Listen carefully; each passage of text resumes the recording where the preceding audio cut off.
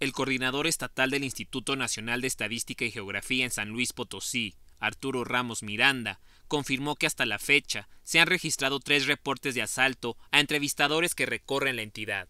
Mantenemos la, comunicación y la colaboración con las autoridades estatales y municipales, y en este caso de, seguridad pública, y ayer mismo el, secretario de Seguridad manifestaba los reportes que se han generado a través del teléfono de emergencias, el 911, y ahí tenemos registrados tres, tres casos de incidentes. Aclaró que en ninguno de los casos se sustrajeron uniformes ni credenciales de los trabajadores que pudieran utilizarse con otros fines. También negó que se hayan perpetrado ataques que dañan la integridad física de los encuestadores.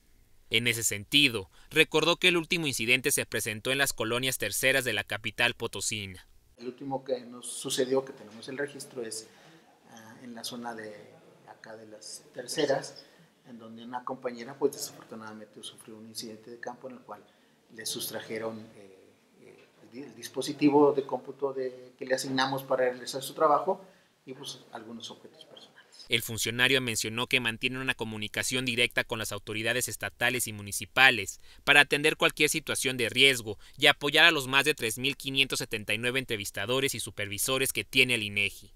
Ramos Miranda aseguró que la información que se recaba por parte del personal del instituto se encripta una vez que se termina el cuestionario, por lo que en caso de que se pierda o se roben algún dispositivo electrónico, los datos quedan resguardados. La, información no es afectada. Primero, no hay ningún riesgo. Primero, porque la información que se haya recabado en el dispositivo hasta el momento eh, no es información que sea ah, personal no es información personal, es información relacionada con las características de las viviendas, las características de las personas. No incluye información personal, no, no se incluye este, información sobre eh, inclusive eh, credencial de identificación, actas de nacimiento, mucho menos cuentas bancarias, estados de cuenta, en ningún, en ningún sentido. Imágenes de Germain Santos, José Luis Vázquez, Noticieros Canal 7.